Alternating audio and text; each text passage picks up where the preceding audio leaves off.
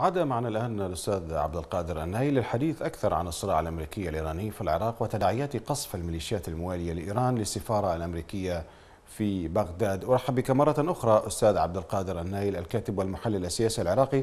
من يقف وراء القصف؟ أسعد الله مساءكم ومساء مشاهديكم الكرام. من المعلوم تماما انتقل الصراع الأمريكي الإيراني في العراق من المجهول إلى المعلوم. كثيرا ما كانوا يكذبون أن هناك ارتباط في عملية الصراع لكن اليوم أصبح واضحا وجليا للجميع أن الأرض العراقية تحتضن الصراع الإيراني الأمريكي بطريقة واضحة تماما وهو وصل إلى مرحلة تكشيم العظام بين الطرفين الذين توافقوا على احتلال العراق وبناء عملية سياسية على أسس طائفية. بالتالي التصعيد الحاصل وهو عملية إيران أن تحرق العراق هي آه، تقودها ميليشيات حزب الله والموالية لها من الميليشيات الأخرى آه، التي اتخذت خيار أن تكون هي طليعة المواجهين للتواجد الأمريكي نيابة عن إيران أو خدمة للمصالح الإيرانية لأنها مرتبطة مع النظام الإيراني وتنفذ أجنداته وهي أحد مخرجات البناء للحرس الثوري الإيراني ذو المهمات الخارجية. وبالتالي من يقف وراء عملية التصعيد والقصف هي ميليشيات الحشد الشعبي في طليعتها ميليشيات حزب الله التي دربتها إيران وتتخذ من جرف الصخر قاعدة عسكرية لها توازي قاعدة التاجي.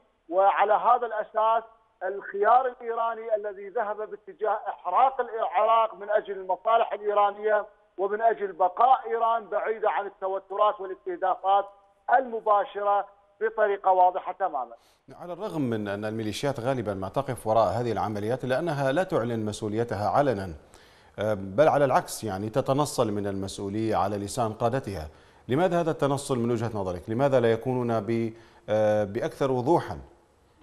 الميليشيات تحاول عملية إدامة تواجدها من خلال الإخفاء في آه، والتصريح العلني لأنها تخشى من الاستهداف وردة الفعل الأمريكية من استهداف مقراتها وقد حدثت بعض الاستهدافات التي كسرت ظهورهم ومنها اغتيال المهندس واغتيال قاسم سليماني. وبالتالي مسؤولي هذه الميليشيات يخشون على أنفسهم لكنهم متورطون إلى حد النخاع بالعمالة إلى إيران في تنفيذ أجنداتها. وبالتالي الأراضي الإيرانية تحتضنهم ولا وجود إلا أن ينفذوا إرادة إيران، لذلك هم بين فكي نار، لذلك هم يخفون هذه القضية لأنهم لا يمتلكون الإرادة والقوة والاستمرارية في مواجهة الاحتلال الأمريكي، هي ليست كالمقاومة العراقية التي انبثقت للاحتلال الأمريكي في أيام وسنواته الأولى. هؤلاء لا يمتلكون لا عملية الاستمرار ولا الصبر ولا يمتلكون المجندين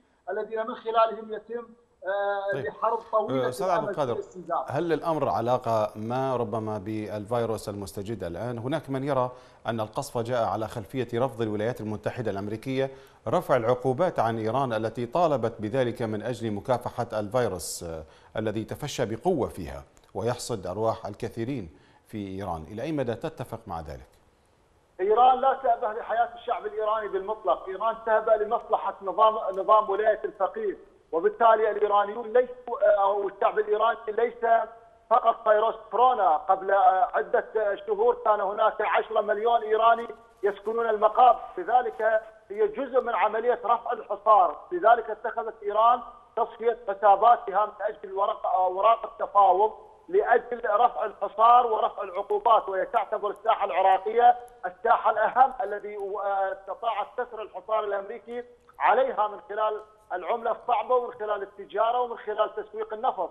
ومن خلال النشر الميليشيات في الدول العربية وازدياد الحروب فيها. لذلك إيران تعتبر أن العراق هي الساحة الرئيسية. لذلك هي تتمسك بجميع مخالبه وان تطلب الأمر؟ إحراق الشعب العراقي وإنهاء العراق، لذلك سياسة حرق العراق لأجل المصالح الإيرانية هو السمة الأبرز، لذلك إيران تريد من خلال عملية آه، قصف قواعد الولايات المتحدة إحراج ترامب في الانتخابات القادمة.